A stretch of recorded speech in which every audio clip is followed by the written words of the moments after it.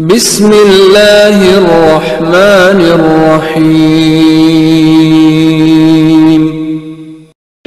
और जंगे बदर के बाद, जंगे उहद और जंगे उहद के बाद फिर जंगे अहजाब, जो मुश्किल तरीन जंगों में से, जंगे खंदक, जिसमें सारे का सारा कुफ्र सिमट कर इस्लाम के मुकाबले में आया। और किसी जंग में इतनी तादाद नहीं थी दुश्मनों की, जितनी जंगे अहजाब में। दस हज़ार यहूदी और मुशरिक सारे कबायल और हिजबे इकट्ठे होकर आए और इस इरादे के साथ कि अब की दफ़ा हमने इस्लाम को हमेशा के लिए नाबूद कर देना है और किसी एक मुसलमान को ज़िंदा नहीं छोड़ना। और मदीने के अंदर ये कैफियत है कि यहूदियों ने जो पैमान बांधा था खत्मी मरतबत के साथ, कि हम आपस में जंग नहीं करेंगे। और अगर हम में से किसी एक कबीले पर बाहर से जंग मुसलत की गई तो हम सब मिलकर मुकाबला करेंगे। लेकिन इधर से हई बिन अख्तब को अबू सुफियान ने मायल किया कि जाओ और तुम बनी नजीर के सरदार काब बिन असद से कहो कि वो हमारा साथ दे। काब बिन असद ने पहले इनकार किया कि हमने मोहम्मद से खैर के अलावा कुछ नहीं देखा। वो सादे के अमीन है। उन्होंने हमेशा अपने वादों की पासदारी की। हम उससे किया वो पैमान नहीं तोड़ेंगे। उसे कैसे पैमान है? कैसे मोहम्मद? अन करीब सारी बातें खत्म होने वाली है। ना इस्लाम रहेगा, ना मुसलमान। बस आखिरी मरला है, तुम हमारा साथ तो यहाँ तक कि वो भी मायर हो गए। अब अंदर से भी खतरा है। इसी के मुसलमानों की खातन महफूज नहीं है, बच्चे महफूज नहीं है। और बाहर से दस हज़ार का लश्कर, जिसमें बड़े बड़े पहलवान तवील अरसे की तैयारी के बाद मदीने को इस तरह से घेरा है।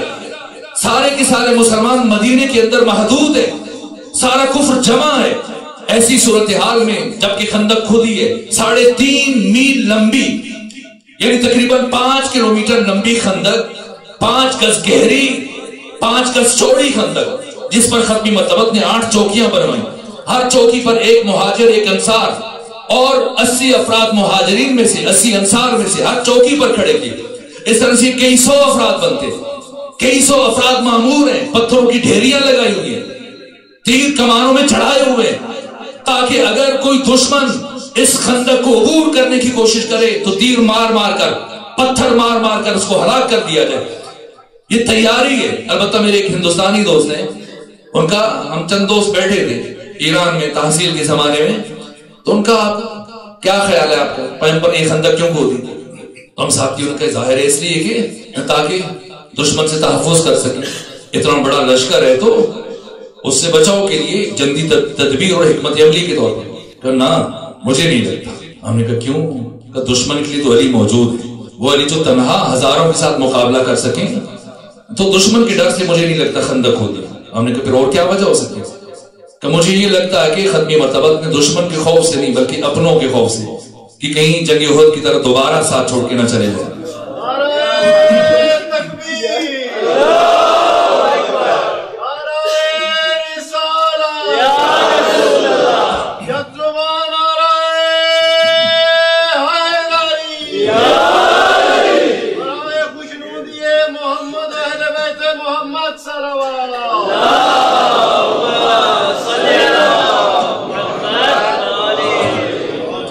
यहाँ तक कि सत्ताईस दिन मुसलसल ये घेरा डाल के बैठे रहे और मुसलसल अब दस ऊँट हर रोज मुशरकिन, कुफार इस्तेमाल कर रहे हैं। हर रोज के खाने में सर्व हो रहे हैं।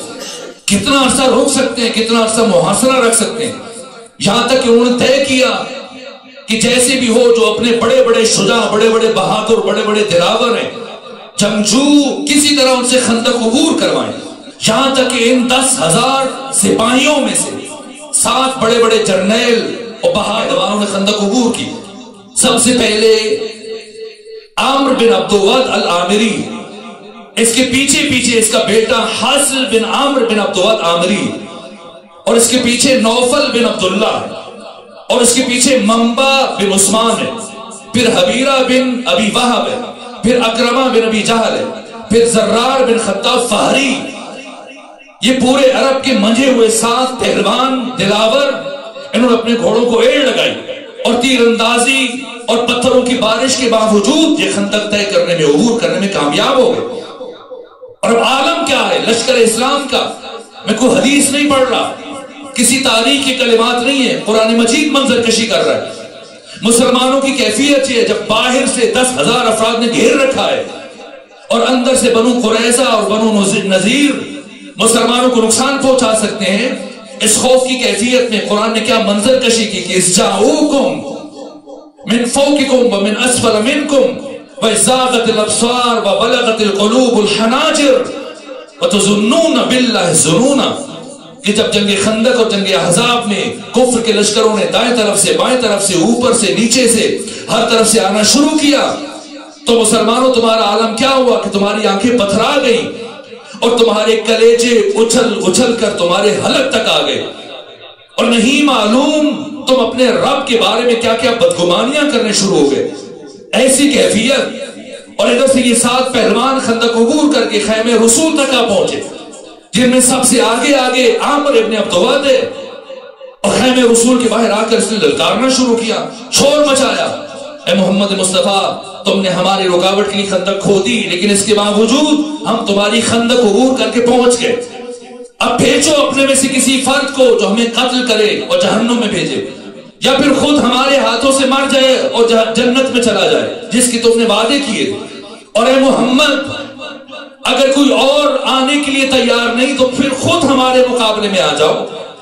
वजूद मुबारक खत्मी मरतबत अपने हज़ारों सिपाहियों और मुसलमानों की तरफ़ उम्मीद भरी निगाहों से देख रहे हैं। कौन है जो उठे? कौन है जो उसके मुकाबले में जाए? लेकिन एक ऐसा सुकूत है और सन्नाटा है और खामोशी रही है। यहाँ तक कि जब कोई आवाज़ न गया मुसलमानों की तरफ़ से, आमर इब्ने अब्दुल्लाह की ज़रूरत और बढ़ी, जसारत और बढ़ी। और इसने आगे बढ़कर अपने नेजे से खत्मी मरतबत के खेमे को चीर दिया। और कटे हुए कपड़े को नेजे से बुलंद करके कहा, मोहम्मद, हाकम बदहन, ए मोहम्मद, चीख चीख कर मेरा गला खुश्क हो गया। कि तुम में से कोई नहीं मुझे जहन्नुम में भेजे, खुद जन्नत में चला जाए। जिस जन्नत और जहन्नुम की तुम अपने सुनने वालों को, मुसलमानों को बातें सुनाते हो, जब खत्मी मरतबत ने इसकी ये गुस्ताखी देखी तो एक मरतबा खत्मी मरतबत के चेहरे पर जलाल के आसार नुमाया हुए, और सुहाबा की तरफ़ रुख किया, और अब तारीखी जुमला इशाद फरमाया इससे पहले ना इसके बाद, फरमाया मल लिहाजल कल। कौन है जो इस कुत्ते का मुँह बंद करे?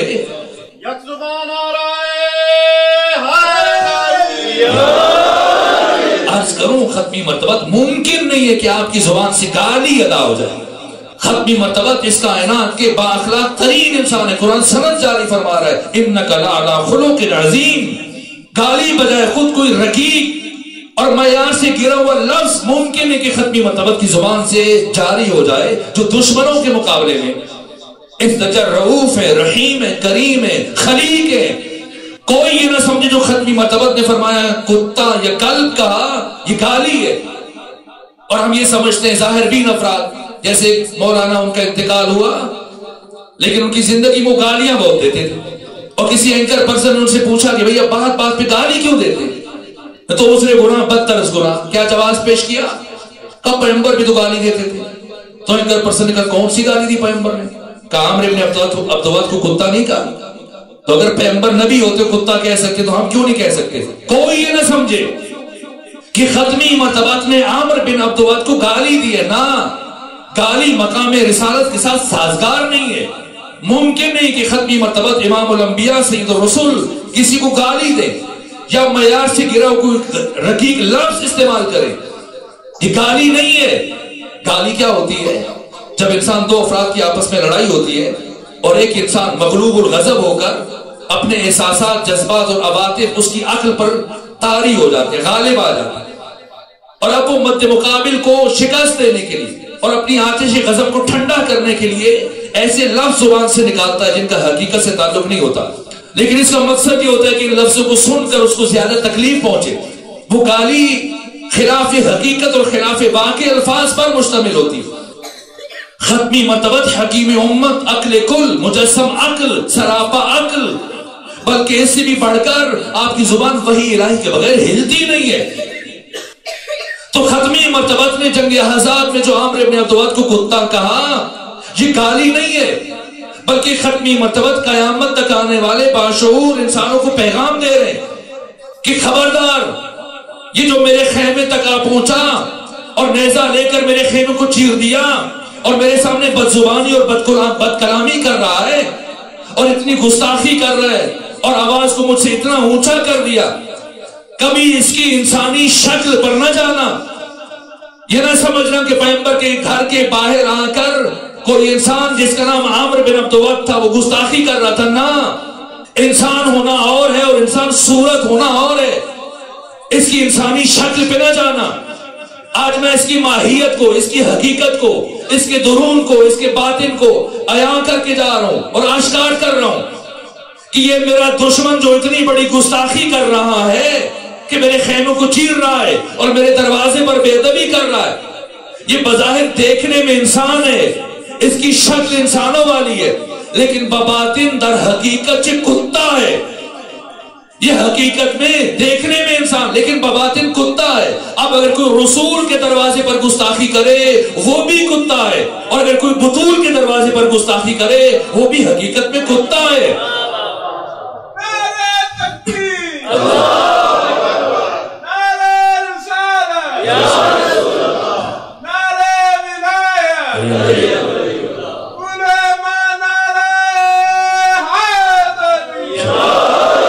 तो जब खत्मी मरतबत ने फरमाया मल हासिल कल कौन उठा है सिवाय अली के, अली हैं जो उठ के कहते अना या रसूल अल्लाह और फिर खत्मी मरतबत ने खामोश किया, अली यहाँ बैठे।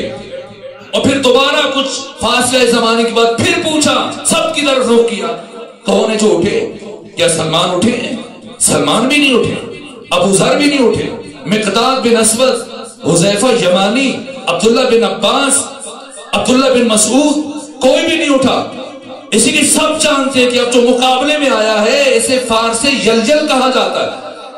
आमर इब्ने अब्दुवंत वो पहलवान पूरे अरब में शोहरत रखता है, जो बैक वक्त अकेले तनहा, एक हज़ार अफराद के साथ लड़ने की सलाहियत रखता है। खुद पैगंबर के खेमे से आपके साथियों ने आपको बताया कि इसके खिलाफ कोई जंग नहीं कर सकता। आप मुसालियत कर लीजिए।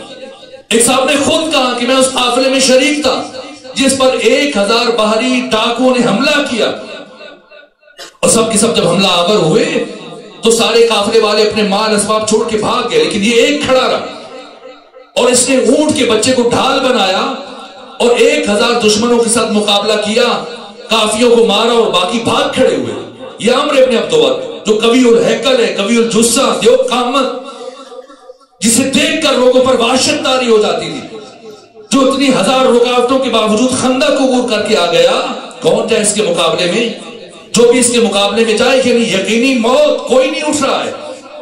एक सुकूत है, एक सन्नाटा है, एक खामोशी है। पैगंबर ने दूसरी मरतबा कहा, फिर भी अली के अलावा कोई नहीं उठा। तीसरी मरतबा कहा, फिर अली उठे और कोई नहीं उठा। मैं दस्त अदब जोड़कर रूह रसूल से सवाल करता हूँ, या रसूल अल्लाह जब बार बार अली खड़े हो रहे हैं तो पहली मरतबा जब अली खड़े हो तो आपको भेज देते क्यों इतनी देर तक दुश्मन को इंतज़ार करवाया जब इतनी गुस्ताखियाँ कर रहे हैं मुसलसल? इसी की जितनी देर हो रही है, उतना उसकी ज़रूरत में इजाफा हो रहा है। तो खत्मी मरतबत अपने अमल से इस्लाम की तारीख लिख कर जा रहे हैं। कि जैसी उसने बुलाया, मैं अली को भेज देता तो मौलिक शायद ये लिख देता कि अली फ़ौरन चले गए, वरना कोई और चला जाता।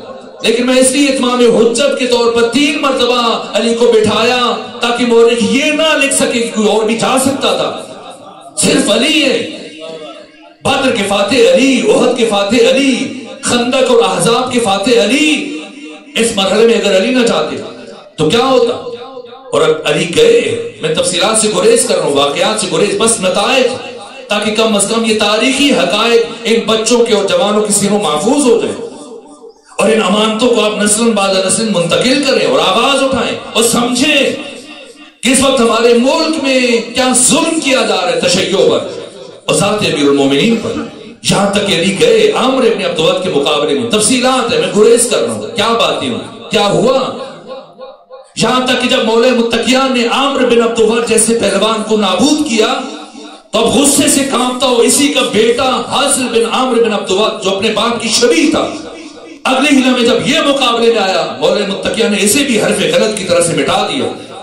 जब बाकी पाँच ने इन दो की दुर्गत बनते देखी और ये हालत देखी, सारे के सारे मैदान छोड़कर भाग निकले। इतने बहादुर और शुजा कि जो सैकड़ों सिपाहियों के नरके के बावजूद खंदक उबूर करके आए, आ गए थे। अब सिर्फ़ अली की शुजात देख के भागे दो मर गए, बाकी पाँच भागे।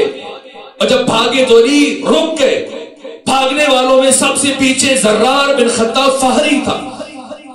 और इन मुसलमानों में से शख्सियत उठे, नाम लेने की ज़रूरत नहीं आप तारीख में पढ़ लीजिए कौन थे। एक मुसलमान उठे, एक सिपाही, और देखा कि जब भाग रहा है, जर्रार बिन खत्ताब फारी तो चलो बहती गंगा में हम भी हाथ धो दो को अली ने मारा, एक को हम मार लेते, पीछे से भागते भागते तलवार मारे गर्दन कटेगी तो तारीख में हमारा भी नाम आ जाएगा कि हमने भी जंगी हजाब में एक बड़ा कारनामा अंजाम दिया, तलवार ली, घोड़े को दौड़ाया, और जब करीब जाकर तलवार चलानी चाहिए।